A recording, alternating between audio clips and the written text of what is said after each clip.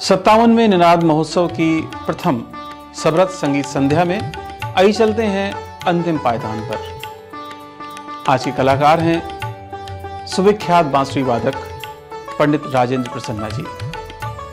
पंडित राजेंद्र प्रसन्ना जी, बांसुरी में एक ऐसा नाम जिसने देश विदेश में अपनी बांसुरी की गूंज फैलाई, जिसके प्रभाव से प्रभावित हुए बिना देशी विदेशी कोई भी दर्शक नहीं रह सका।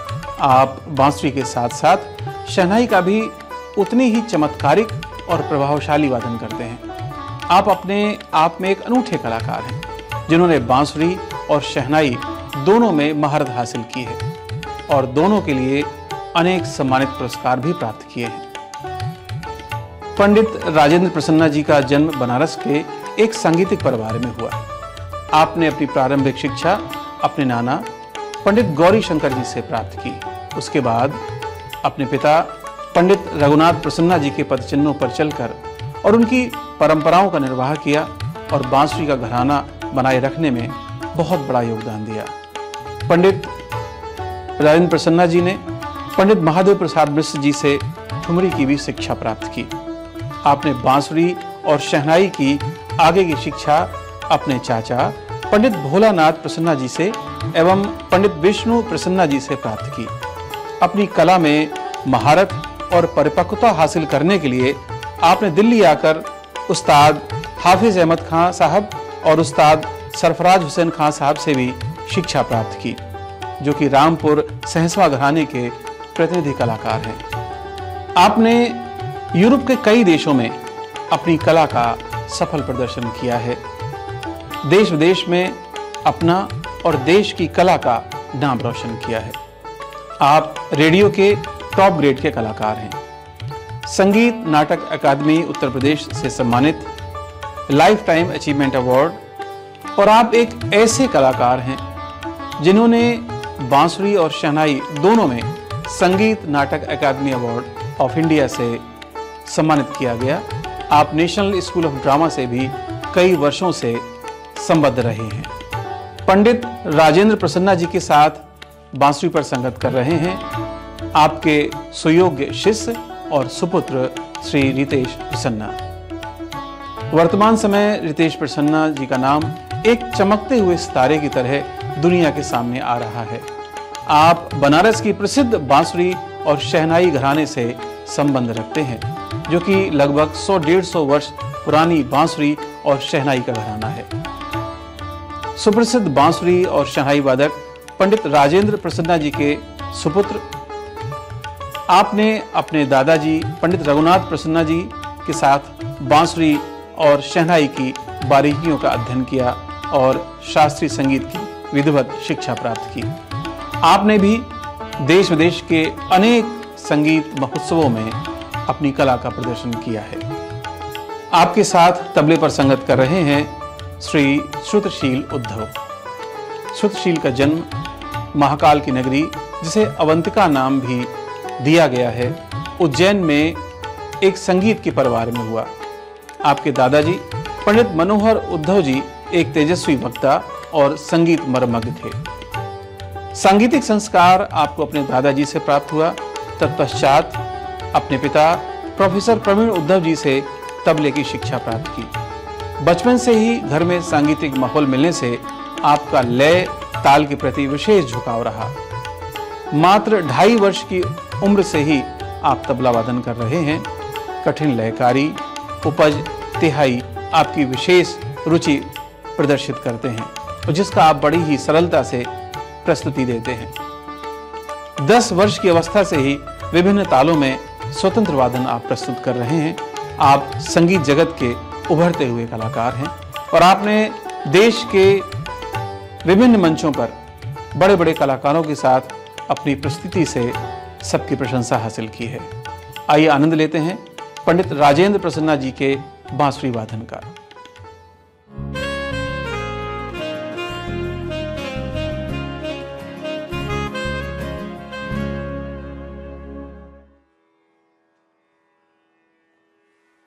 नमस्कार। आज इस कार्यक्रम के सौजन्य से मैं आपके समक्ष आ रहा हूँ। पंडित विश्व दिगंबर पुलिसकर की याद में ये कार्यक्रम करते हैं। आगरा में पचास साठ साल से चल रहा है कार्यक्रम और मैं सबसे पहले सेवेंटी फोर में आगरे में बजाने आया था। हमारे अंकल पंडित रघुनाथ तलेगांवकर जी को याद करते हुए उनके चरणों में बजा रहा हूँ आज, लेकिन बहुत दुख है। दुख इस बात का है कि हमारे भाई केशव जी नहीं है।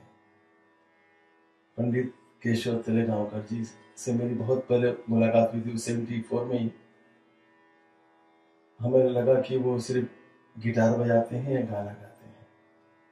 अभी हाल ही में हम लोग एक साथ थे ऑस्ट्रेलिया में, मेलबर्न में। वहाँ उनका गाना था और मेरा बांसुरी और शहनाई दोनों था। वो सामने बैठे सुन रहे थे। गाना बजाना हुआ। रात को आए प्रोग्राम के बाद तो उन लोगों ने फरमाइश की कि महफिल एक होनी चाहिए।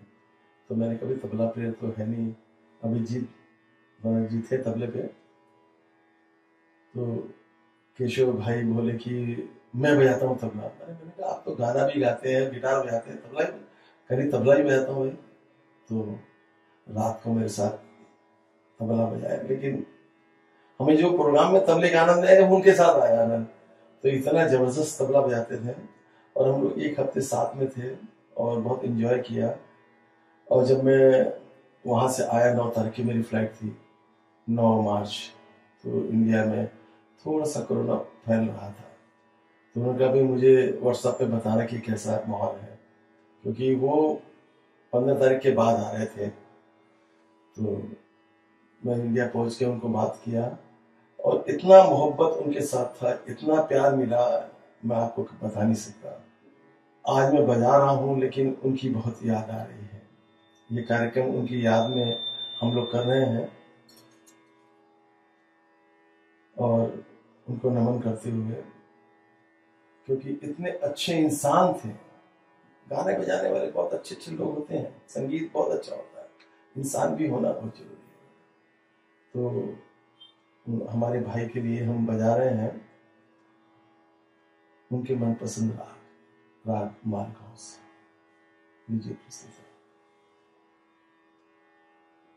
मेरे साथ तबला पे बनारस से आए हुए हैं सुरती सिंह जी। जो बहुत अच्छा बजाते हैं और बहुत आनंद आते हैं इनके साथ बजा के। इनको भी आशीर्वाद दीजिए। दुनिया में बहुत नाम करें और मेरी, इनको आशीर्वाद भी शुभकामनाएँ हैं। और मेरे साथ मेरे बेटे रितेश प्रसन्ना बजा रहे हैं। राग मार्ग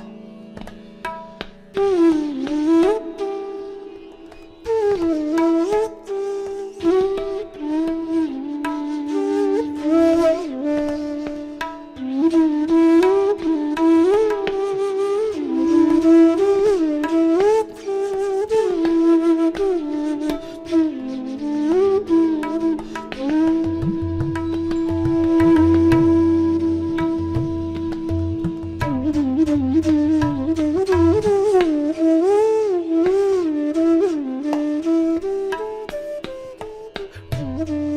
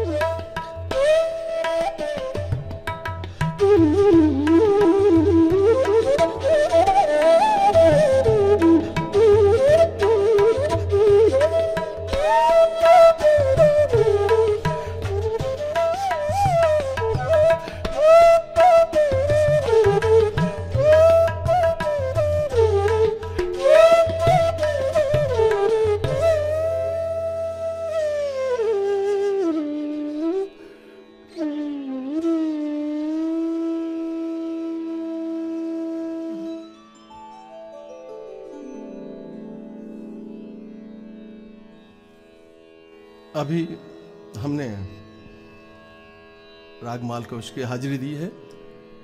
इसके बाद थोड़ा देश, एक बनारस की चीज़। तो देश सुनिए आप।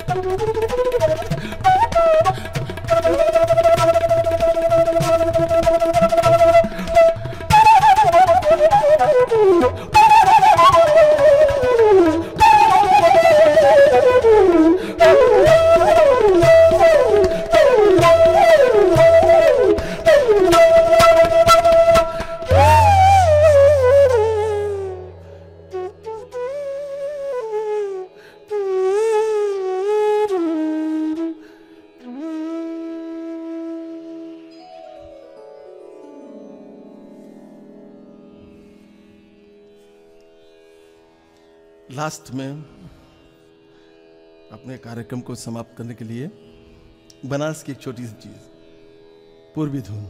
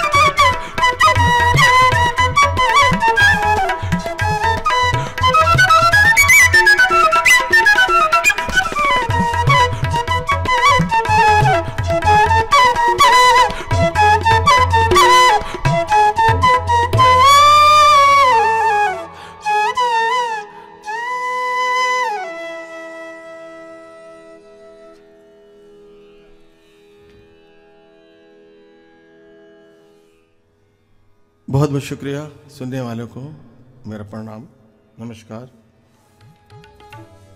ये था पंडित राजेंद्र प्रसन्ना का बांसुरी वादन। हमें पूरा विश्वास है, आप स्वर लहरियों में खो गए होंगे और अपने आप को भी भूल गए होंगे इस संगीत वादन में। इस अवसर पर संगीत कला केंद्र पंडित राजेंद्र प्रसन्ना जी को संगीत कला रत्न के सर्वोच्च सम्मान से सम्मानित कर स्वयं को गौरवान्वित महसूस करती है।